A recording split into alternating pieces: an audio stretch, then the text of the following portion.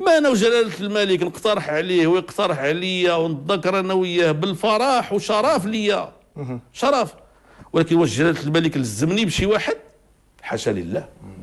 كل شيء المقترحات اللي كانت بيناتنا مقترحات أنا اللي تقدمت بها. وهذا دابا تسمح لي باش نجاوب على واحد السؤال. كنتي وقعتيو فيه أنتم في مغالطة من قبل. في الحكومة الأولى.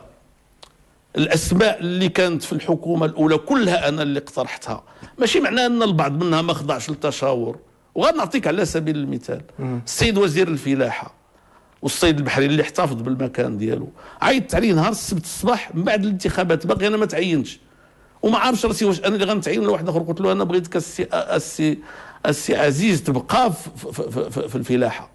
بعد ذلك صادف نفس الرغبة عند جلالة الملك. أين هو المشكل؟ نعم. غير حينتاش جلالة الملك بغا نحيدو ولا كيفاش؟ حتى واحد ما قالتش بغينا غير نعرفوا بغينا غير نفهموا لا خصكم ما تغروش المغاربة وتقولوا لهم كاين دستور جديد بمعنى أنه غادي نديروه في هذه البلاد. يعني رئيس الحكومة تيدير اللي بغا. راه ما كاينش راه رئيس الدولة هو جلالة الملك. شكون الأمور واضحة؟ وهو المرجع الأول في التسيير ديال البلاد. وأنا الدور ديالي هو التسيير ديال الحكومة والنجاح ديالي وديال الحكومة ديالي وديال البرلمان اللي حنا فيه هو في التعاون ديال المؤسسات الثلاثة للمصلحة ديال البلاد.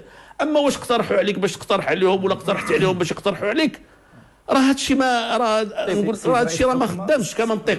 ولكن الحمد لله ما عمر جلاله الملك إليوم ما عمر جلاله الملك ما فرض عليا حتى شي اسم.